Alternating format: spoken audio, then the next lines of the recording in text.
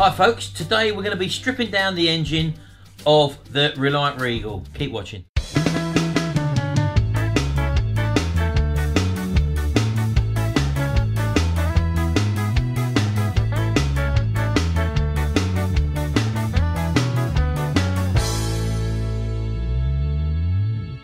Right, well, we're going to get the engine stripped down, and I found out a bit more information on this engine which I've got.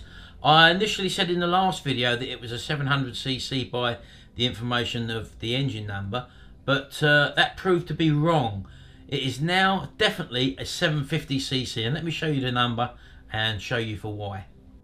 Right, so as we showed in the last video, we've got a three segment number here. The first part here, the second part, and the third part.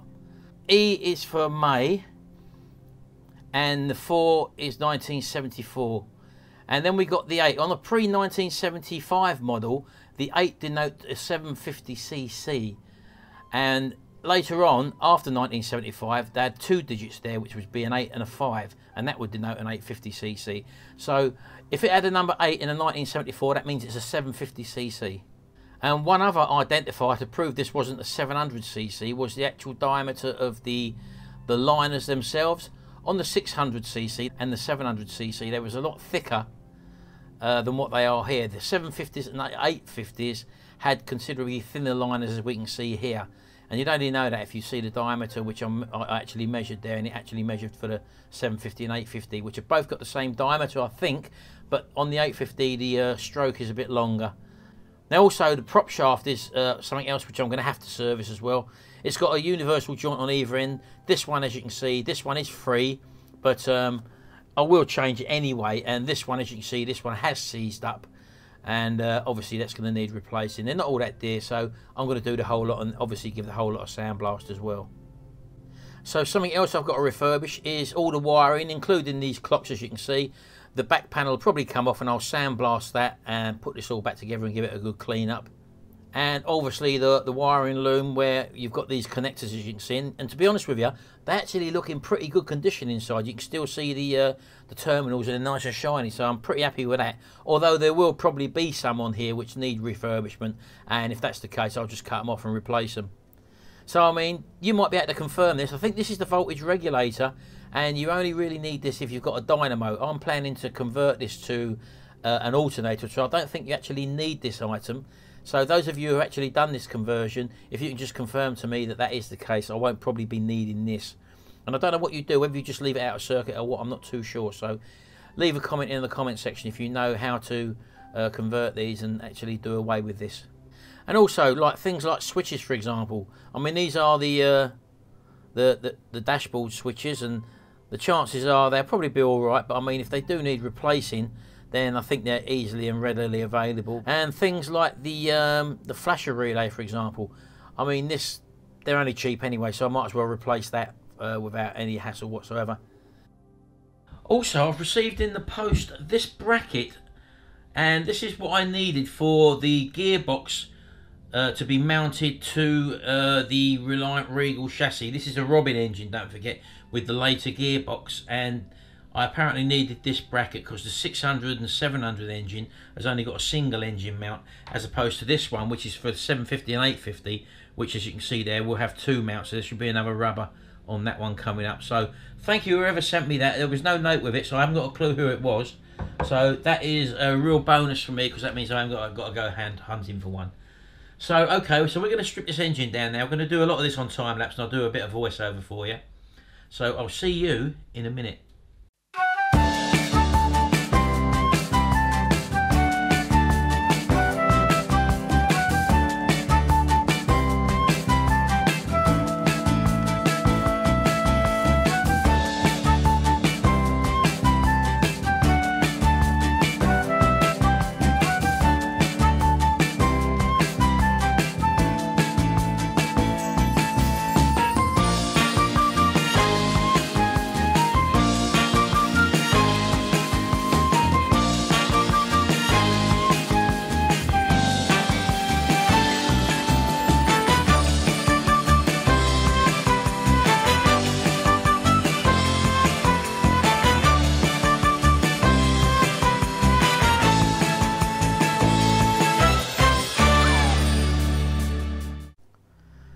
Right, so while we're here, we might as well take this old uh, oil filter off. I've got one of these chain tools to obviously undo it. You can get big spanners and all that, but I find this does the job perfectly.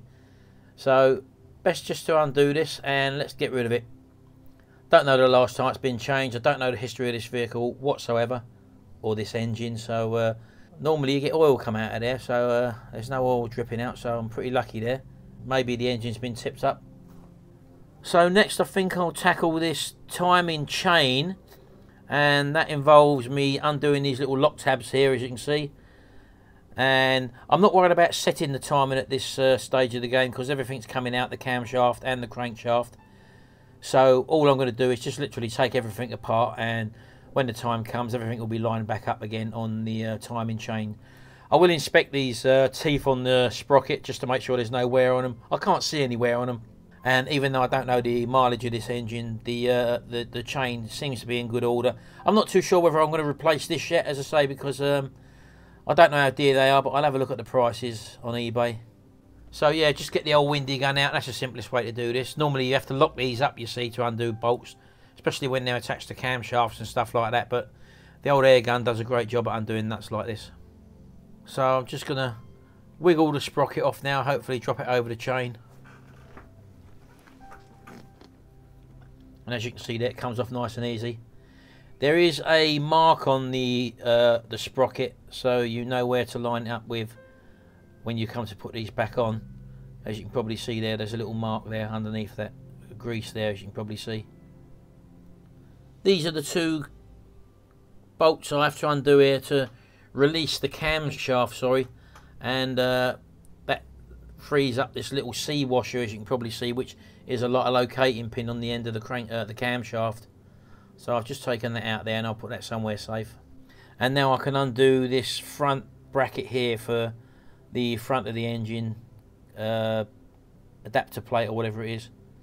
I'll just undo these screws and just give it a little bit of persuasion there. I think it's sitting on a couple of dowels as well, so just uh, be aware that where the dowels are located on this when you take this plate off.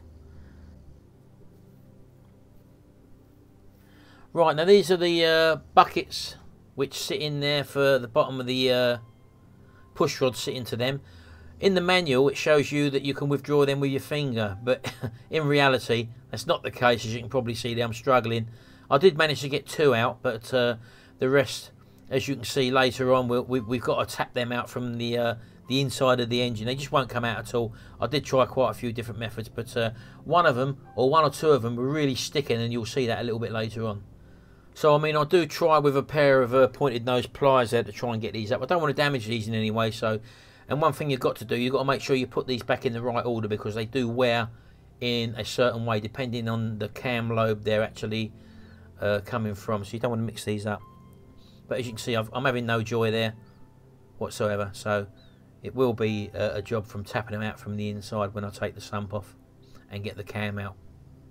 Right, so I want to turn the engine over I'm going to uh, obviously get the sump off next because I want to get inside this engine. So um, that's the reason why I had to drain the engine out, the engine oil out. There will be some residue on the floor there, but I'm not really too worried about that because I've got a container underneath there and a, a rag sitting on the floor. I'm going to just try and wedge this up correctly. I'm going to have to get a logger, uh, a piece of wood there to just put underneath there, just to support it. Right, so now it's time to zip that old sump off filthy underneath here. This is all going to have to be clean. That's what I couldn't get to before. So uh, you'll have to just stick with me while I undo all these nuts. There's loads of them under here. And there's also little collars that uh, go underneath the nuts and, or bolts rather. So be sure you don't lose them.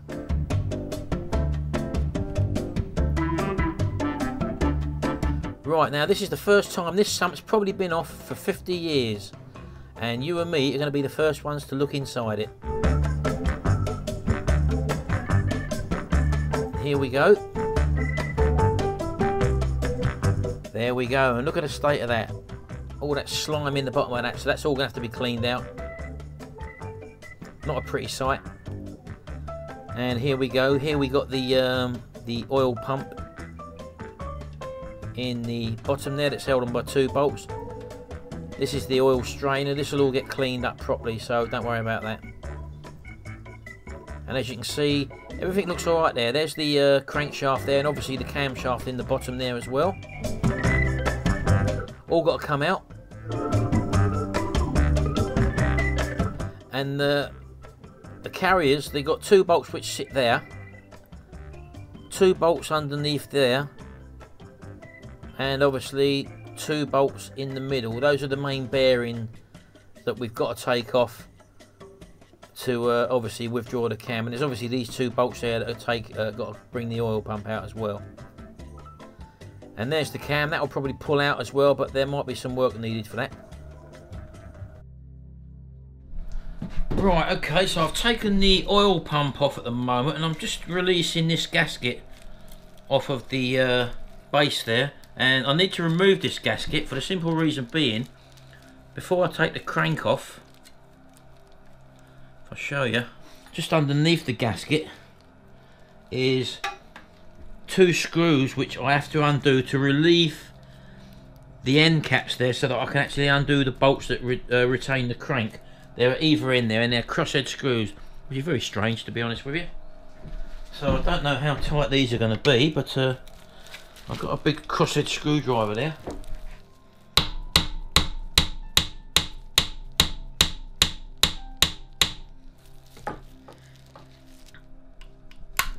we go. Well, that was tight. There's one. That's the idea. You need a really good fitting screwdriver in there, so just be prepared.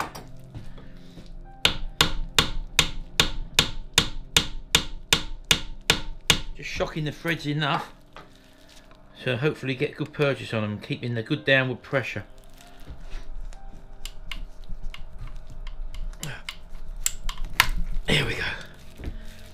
Well, how about that? See? So I would definitely suggest having an impact driver there. One of the ones you hammer and it turns its uh, anti-clockwise as you uh, apply pressure. Very easy, I would imagine, to round them off. So just be aware of them.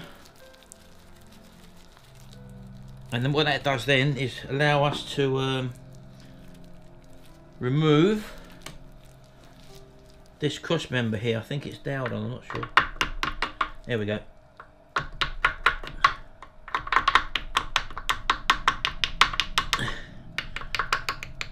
There we go. And that then, as you can probably see, gives us full access to our crankshaft bearings. So I'm just going to put them screws back in there. Well, in fact, I'll leave them back in there, actually. Mm. Right, okay, that's them end caps now off, and I can now start to undo. These are 9 16th bolts, and they shouldn't be too bad, to be honest with you. So I'm just gonna. Do with that being locked in position, but it isn't. Get my leg up there. Look. Cool, that's tight. Right, okay. I'll get the uh, longer lever on it with the uh, breaker bar. That gives me a bit more lever, I think. There we go. Just needed a bit more leverage on it. There's one. There we go.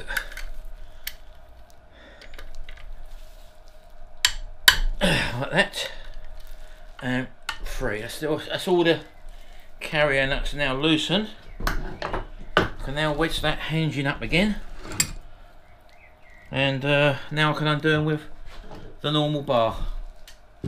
And one thing I've also got to make sure of is that um, these carrier bearing carriers go back the right way around and in the right order. So that's just something which you've got to be aware of and all because each of the bearings surfaces wear at different rates and different ways so just be aware that you mark everything and put everything back in its correct location. Now I'm just going to get the worktop ready because I'm going to lay this down because everything's going to come out in one go here the pistons and everything so I'm just going to get everything ready. As you can see this time I've actually put my gloves on. Inside of engines are notoriously greasy and dirty and it takes ages to get this off here In fact, they're actually marked. They've got an F for front, C for centre, and R for rear. So the bearing caps are actually marked which way they go back in. Which is nice. I didn't know that. Just seen that now. But what I will notice is that um, facing the oil filter, I think they can only go in one way, can they? The letters face the oil filter. So if you're standing where the oil filter is, the letters should be readable towards you. So that's good. And looking at these bearings, they look very, very good. So I'm just going to put these up here.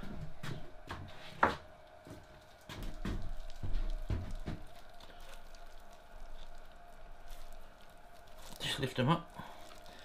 Everything is just so slippery.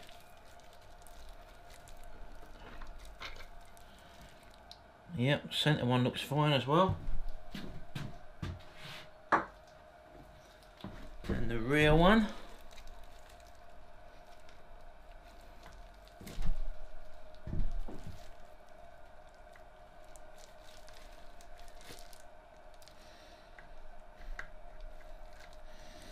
There's always one that's tight in there. If I lift up the bearing,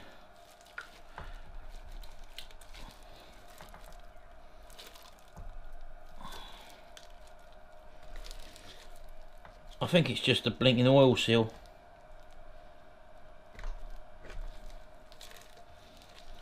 Typical, isn't it? Let me come around this side just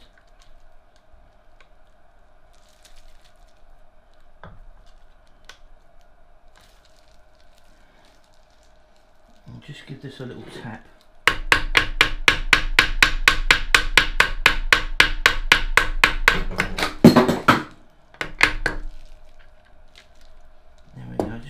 cover off this one's a bit stickier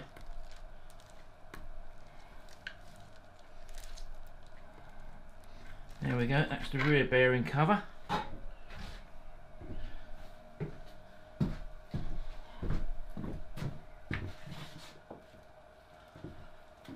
Now, the crank hopefully will lift out with the pistons connected with them still.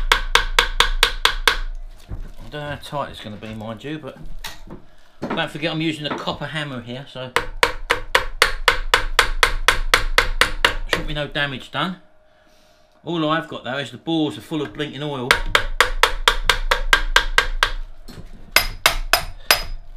Right, okay. There we go, let's lift that little baby out. So now hopefully all I should have is the camshaft which should pull straight out. I must remember them followers are underneath it still so I've just got to be careful of that. Right now apparently to get the camshaft out, you have to drift out this little pin here. Probably going to be easier said than done. There we go. So there's a little pin there which has to come out and then apparently we can withdraw that then, I don't know how but you've now got to drive the shaft upwards apparently so I might have to turn the engine on its side for that Right, well before I do take them out, I'm just going to take these bearing carriers out and put them in their right order. Now push the shaft out.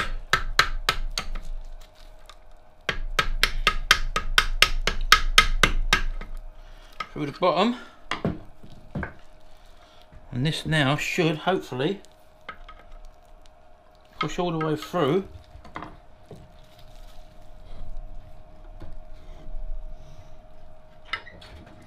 and come out the bottom. So once you've got that off, you then hopefully should be able to withdraw the camshaft out of the block just like that and there it is there right and that's it so this has all got to be cleaned up now the only thing I've got to take out are the, the cam followers, them little bucket things, as I said, I can just push them through now and get them out from the bottom end. So I mean you probably can't see in there at the moment, but there's them there's them followers in there, look. And they're some of them they can't even move, they're really sticky. So that would be an issue when we were starting the car up basically. That one's come up at the end there, look, but once they're all clean that'll all they'll all move in and out nicely. But so that's the reason why you've really got to strip these things down and take them apart because that one there, the second one in there, is actually seized in there and I can't actually move it and same with uh, one further down the line here. Anyway, I'm going to leave it there for now because stripping down engines like this is a really, really dirty job. And as I say, I could really do with a parts washer here uh, so I can clean all these things up properly before we examine them. Anyway, I'm going to leave this video here now. Uh, you haven't got to see me cleaning up, that's only boring stuff at the end of the day. And don't forget, if you like my videos, do share about and do actually comment down below. We like to see your comments. And do check out my other channel, RetroHax as well, where we do some cooking, me and Sharon. All retro stuff, and we have a bit of a laugh, a joke on there as well. And don't forget to hit that subscribe button and ring that little bell next to the subscribe button. And that means that every time I upload a video, you're the first to know and you get notified. Anyway, hope you've enjoyed this video. We'll see you in the next video. And until then, bye for now.